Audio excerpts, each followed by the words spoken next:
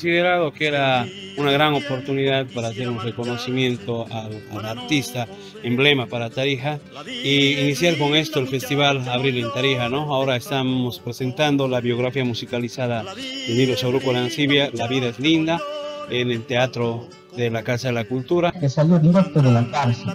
En ese momento Nilo compone la canción Papeles, duro testimonio de esa época. En la Navidad de 1974 compone la cuenta La Claraqueña, clásico de la canción boliviana, himno de los exiliados y perseguidos del mundo. Sí, es, es, un personaje que sin duda nos ha legado un legado importante a los tarijeños, un legado intelectual, un legado artístico y un legado moral que, valoramos mucho y que creemos que eh, ahora vamos a tener la oportunidad con este libro de conocer un poco más a detalle de lo que fue eh, la vida y obra de, Nilo Soroco. La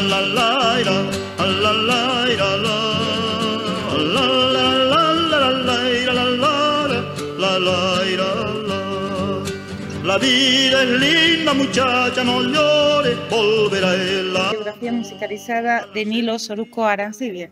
Así es, la biografía musicalizada. este libro tiene una característica que, eh, bueno, mientras vas recorriendo vamos viendo las fotografías, pero además en, en, muchas partes tenemos eh, códigos QR donde vas a poder escanear con tu teléfono y te va a salir las, las canciones que, de autoría de Nilo Sorupo, ¿no? Entonces es un libro que además se adecua con, con la temática que hemos lanzado para este festival Abril en Tarija, que es una mirada al futuro desde el arte y la cultura. Todas las actividades, sin, eh, sin, excepción, van a ser gratuitas y vamos a tener actividades todos los días del mes, de lunes a lunes. ¿El programa ya se encuentra a disposición? El programa está colgado en la página de Facebook, Casa de la Cultura de Tarija, y lo tenemos en eh, físico también en la Casa Dorada. Estamos regalando eh, los programas todavía. Hemos regalado hoy día muchísimos.